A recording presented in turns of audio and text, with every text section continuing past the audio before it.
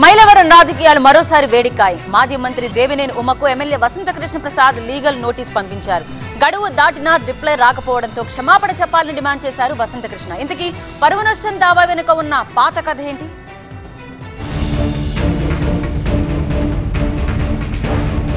మాజీ మంత్రి Devineni ఉమామహేశ్వరరావుకు Mylavaram YCP MLA Vasantha Krishna Prasad legal నోటీసులు పంపించారు. గతేడాది నవంబర్ ఇరవై రెండవ తేదీన మైలవరం టీడీపీ కార్యాలయంలో నిర్వహించిన సమావేశంలో దేవినేని ఉమ తనపై హత్య ఆర్థిక నేరాలను మోపుతూ తప్పుడు ఆరోపణలు చేశారన్నారు కృష్ణప్రసాద్.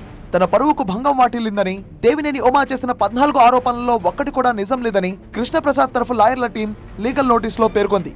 అయితే గడువు దాటినా ఉమా నుంచి ఎలాంటి స్పందన రాలేదు. దీంతో పరువు నష్టం దావా వేస్తానని హెచ్చరించారు కృష్ణప్రసాద్.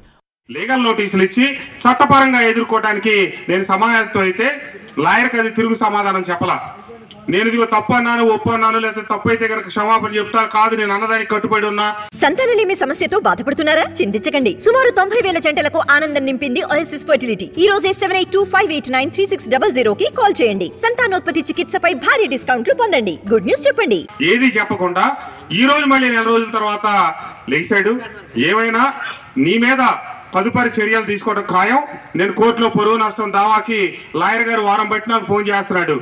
లీగల్ నోటీస్ ఇచ్చిన టైం అయిపోయి మనకు వారం అయిపోయిందండి కృష్ణప్రసాద్ గారు. మీరు త్వరగా వస్తే కనుక కోర్టులో ఫైల్ చేద్దామని నాకు కుదరక పనులు ఒత్తిడి వల్ల లాయర్ గారి దగ్గరికి వెళ్ళా.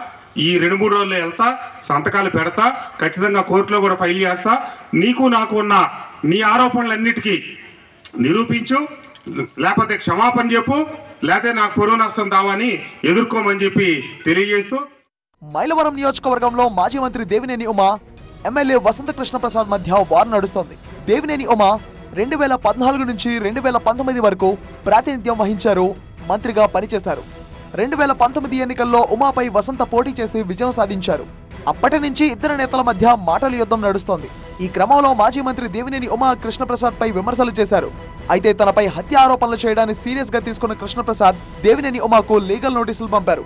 లేటెస్ట్గా బహిరంగ క్షమాపణలు చెప్పకపోతే పది కోట్లకు పరువు నష్టం దావా వేస్తామని వసంత హెచ్చరించారు.